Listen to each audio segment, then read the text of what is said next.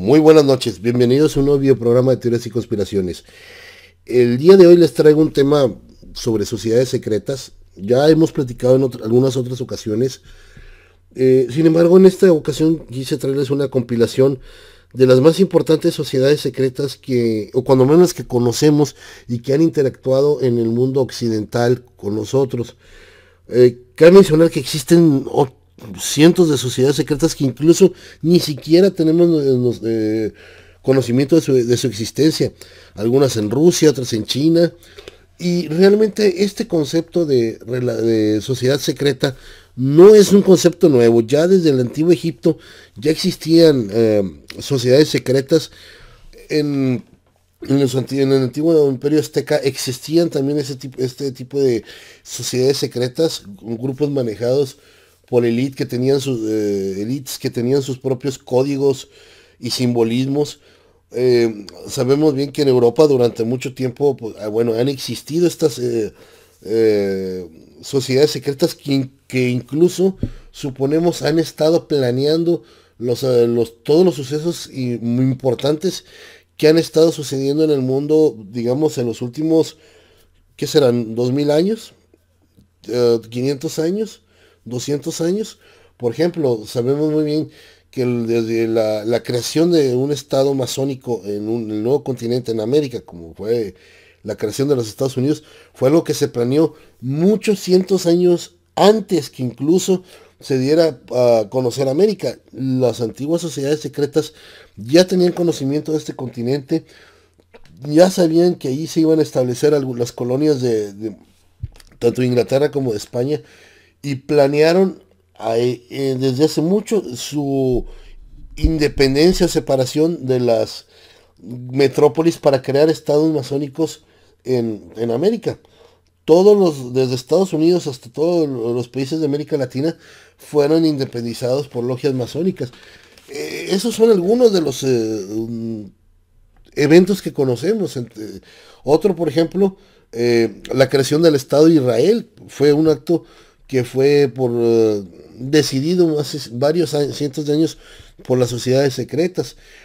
Eh, incluso quiero comentarles que en su momento el cristianismo, cuando surge en la Roma y es, prescripto por el Imperio Romano, se convierte en una especie de sociedad secreta que utiliza también símbolos, utiliza ciertos códigos, hasta que ya, eh, digamos, el emperador Constantino la acepta como religión y deja de ser una sociedad secreta para convertirse en, la religión eh, católica que todos conocemos.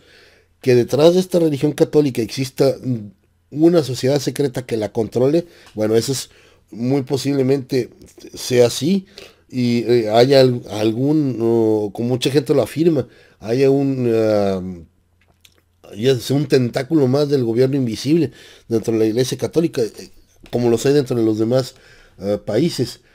Pero ahora en, este, en esta ocasión quiero platicarles, darles, ah, digamos, un resumen sobre las cinco sociedades secretas que más han influido en la vida humana o en la historia de la humanidad. Y vamos a comenzar con el Club Bilderberg. En 1954, las figuras más influyentes del mundo se reunieron en un hotel para discutir y planificar la agenda global del, del siguiente año. Desde entonces han continuado reuniéndose anualmente pero el contenido de sus conversaciones se mantiene en un secreto celosamente guardado. Bilderberg no es exactamente una sociedad secreta, pero muchos teóricos de la conspiración se preocupan por la influencia que tienen sus reuniones anuales.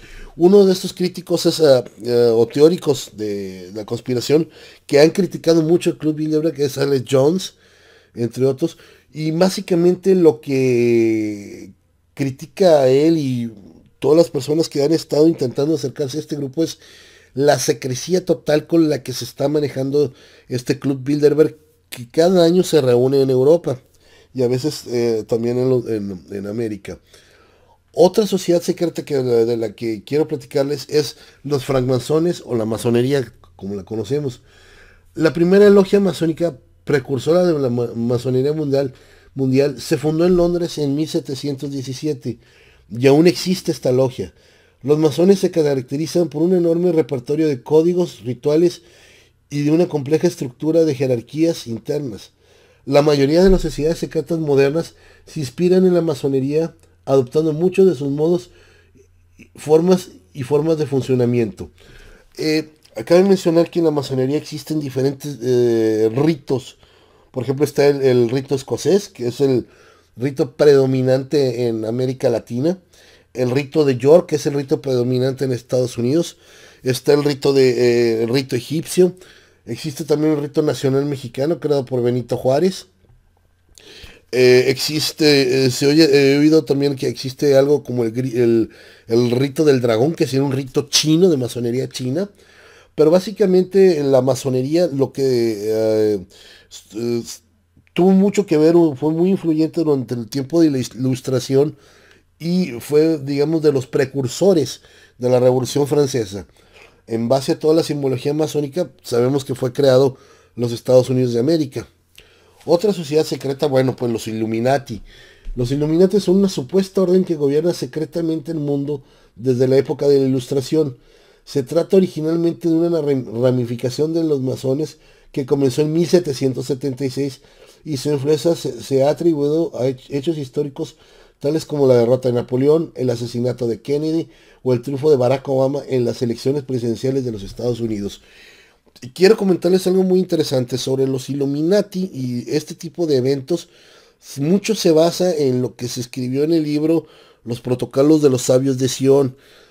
Se ha tratado, o más bien se ha eh, querido ligar mucho a, los Illuminati con el sionismo, no con el pueblo judío, son cosas muy diferentes. El sionismo es, eh, digamos, es el, el, capital judío, es la, rama judía bancaria, eh, que estaría en un momento dado, serían los Illuminati o asociados con los Illuminati para el control financiero y político de, los de, de, este mundo, de los países. Eso es en base a lo que, a lo que se, piensa. Se sabe que hay, mucha correlación entre Illuminatis, masones y Club Bilderberg. Otra sociedad secreta que vamos a platicar es los Rosacruces. Esta fue fundada a finales del siglo XV por Christian Rosenkratz de la Orden Rosacruz. Pretendía usar las prácticas ocultas para lograr una transformación global. Dos siglos después de su creación, la orden ganó fama internacional con la publicación de tres manifiestos. Se le considera como la fuerza conductora detrás de cada revolución importante en la historia moderna. Aquí quiero hacer una, una, anotación aparte. Dentro de los Rosacruces existe, es donde existe más contenido esotérico de estas eh, sociedades secretas. O cuando menos es la que más sabemos a simple vista que tiene un contenido esotérico bastante profundo. Todas lo tienen.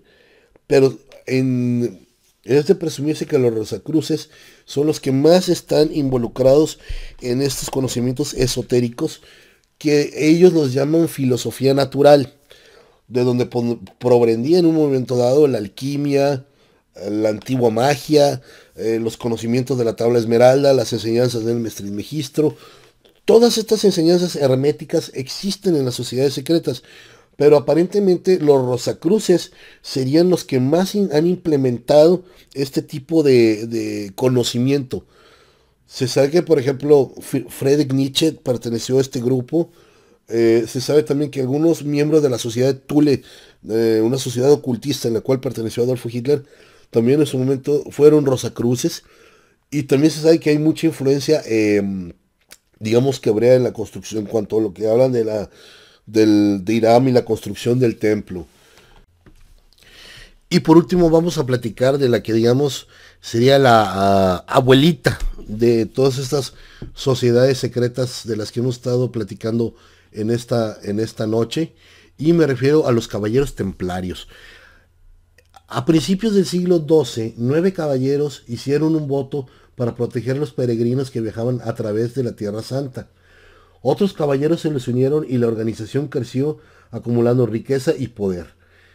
En la cultura popular, los caballeros asumieron el papel de proveedores de fondos de muchas otras sociedades secretas, así como guardianes de los tesoros cristianos más sagrados como el Santo Grial, la sangre de Jesucristo, Sin embargo, los miembros de la sociedad fueron finalmente torturados y ejecutados por el rey francés Felipe IV, los señores feudales y la Iglesia Católica, con lo que a principios del siglo XIV la organización se disolvió oficialmente. Se sabe que muchos caballeros templarios lograron eh, escapar a Inglaterra, a Escocia, donde fueron acogidos y donde se refundaron esta, esta sociedad. Y sabemos que también de que actualmente existen todavía los caballeros templarios. Eh, se habla de que es una organización poderosísima, que tiene laboratorios secretos y, y, dentro de sus más preciados tesoros pudieran tener el santo grial y la lanza de Longinos con la sangre de Cristo. Se habla también, es, es algo que se ha mencionado en, eh, en, algunos círculos, sobre todo hace unos 10 años exactamente, se estuvo comentando mucho esto, de que los caballeros templarios estarían viendo la posibilidad de hacer una clonación de Cristo en base a la sangre que tienen de tanto de la copa con, sangre de, nuestro Señor, así como la lanza de Longinos pero eso, eso es, algo que se comentó hace 10 años. Actualmente es totalmente desconocido o no tenemos más información sobre esta sociedad secreta. Yo te agradezco mucho que hayas eh, atendido este video documental. Te invito a que me sigas en redes sociales, en Twitter, en Facebook. Te, te suscribas al canal. No me agregues a tus círculos en Google Plus si quieres conocer más sobre el artículo, sobre este tema, en la descripción del video está la dirección del artículo para que lo cheques en nuestro blog. Y no me queda decirte más que agradecerte por tu atención en este video documental. Yo soy Poncho, abre tu mente y nos vemos en la próxima. Hasta luego y gracias.